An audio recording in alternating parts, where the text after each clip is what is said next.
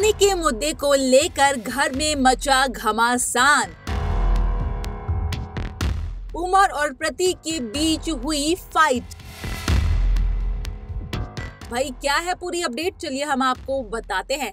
दोस्तों, आज दिन भर घर में काफ़ी शांत माहौल देखने को मिला। और हम आपको बता दें कि इसी बीच जो है खाने के मुद्दे को लेकर घर में ज़बरदस्त तरीके से बवाल हुआ। दरअसल, शुरुआत तब हुई जब यहाँ पर उमर प्रतीक से ये शिकायत करते हैं कि मुझे आज ब्रेकफास्ट नहीं मिली।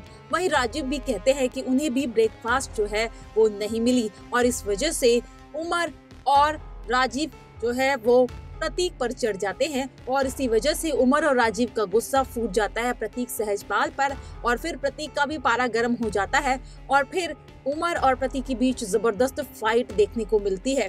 दरअसल हम आपको बता दें दोस्तों कि प्रतीक और सिम्बा को किचन की ड्यूटी मिली है, जहाँ पर उमर और राजीव ये कहते हुए नज़र आते हैं कि उनके किचन के राज में अगर उन्हें भूखा रहना पड़े तो ये सही नहीं है। वही हम आपको बता दें कि ये मुद्दा इतना ज़्यादा गर्मा जाता है कि आपस में एक दूसरे से भिड़ने लगते हैं घर वाले साथ ही साथ अफसाना का भी गुस्सा फूटता है और वो कहती है, मुझे भी आलू के पराठे नहीं मिले हैं। हम आपको बता दें दोस्तों कि यहाँ पर जो है शमिता शेट्टी भी काफ़ी ज़्यादा भड़की हुई नज़र आई प्रतीक पर। वेल, हम आपको बता दें दोस्तों कि प्रतीक जो है वो सबको समझाने की कोशिश कर रहे हैं कि वो जो है सबके लिए सारी चीज़ बना देंगे, लेकिन उन्हें थोड़ा वक्त दिया जाए। लेकिन हम आपको बता दें कि उमर जो है वो प्रतीक की बात मानने को तैयार ही नहीं थे।